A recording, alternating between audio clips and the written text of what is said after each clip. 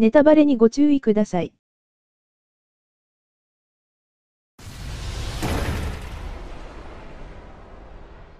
人を救うとか助けるとか簡単じゃないよね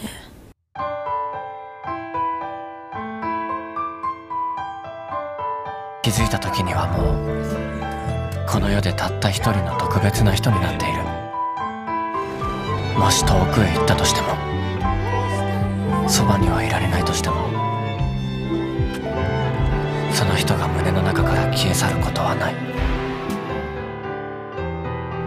同じ化合物が使い方次第で人をダメにしたり人を救ったりする。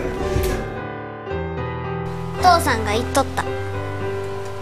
女の旅立ちを見守ってこそ男や好きなら引き止めて泣かせたり困らせたりしたらいかんぞって。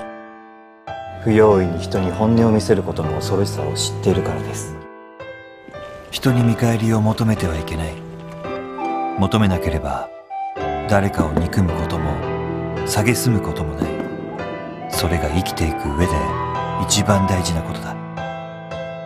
幸せじゃなくなったなんて誰が言えるの？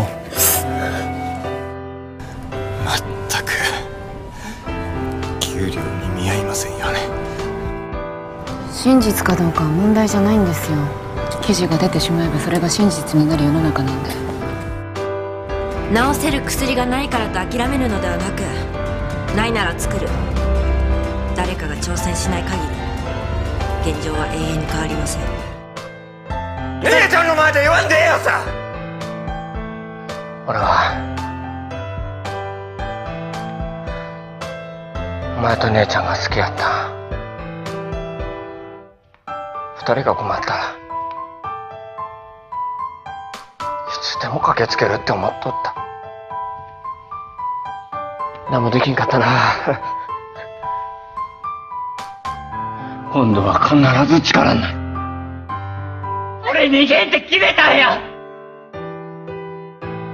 やっと会えたんや。忘れたくないわ。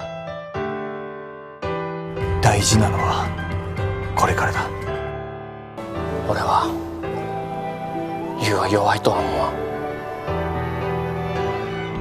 あいつは自分のやったことに責任持とうとしとる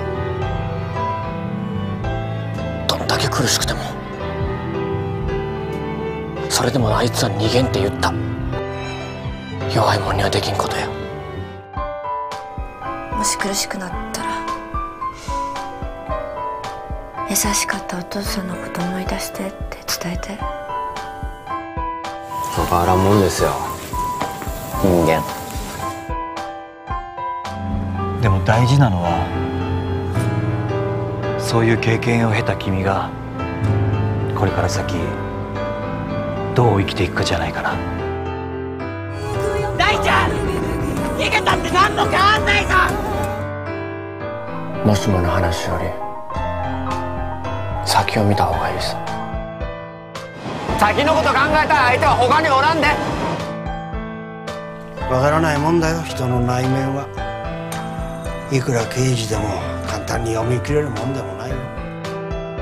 なぜこんなことをしたんです？私は着服はしていない。会社のためにやった。ためになっていません！やるべきことをやるんだろ言うことは聞かないし隠し事は多いし手がかかる。だけど一度自分がやると決めたことは最後までやり通す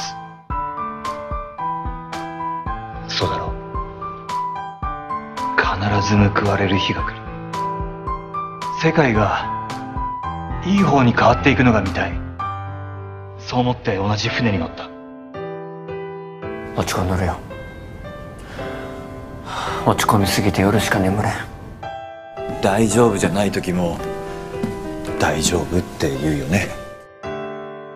誰かの正義は誰かの悪。リオはずっと真面目に一生懸命生きてきたやろ。俺はそういうリオが好きやよ。大丈夫。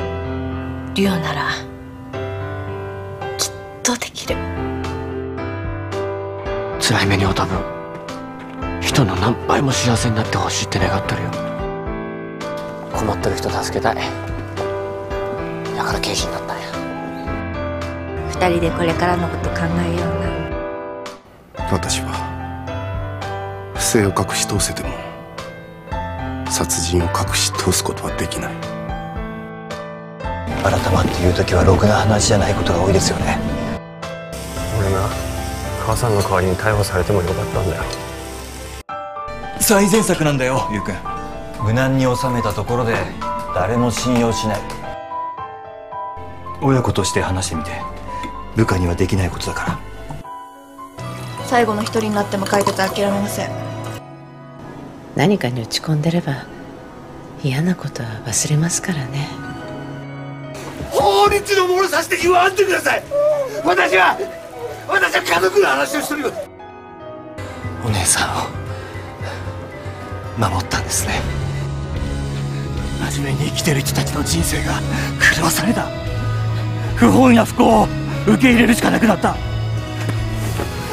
将来を奪われて一生の苦しみを背負わされたんです。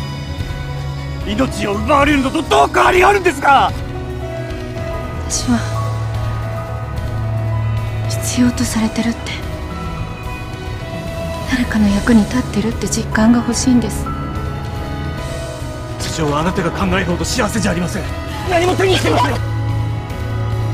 なんで一線を乗り越えた踏み越えてなったら戻ってこられるよ。法律では守れないものがあるからです。私が思うことは一つしかありません。二人には一点の曇りもない人生を送ってほしい。それだけです。二人にとってお前がおらんくなることがどういうことが分かったのか頼みましたよ宮崎さんようやく手に入れた二人の幸せを。壊さないでやってください。秘密を抱えて生きる人生を。受け入れるのは難しいです。ねえその薬ってさ昔の記憶は戻るの？戻らないよ。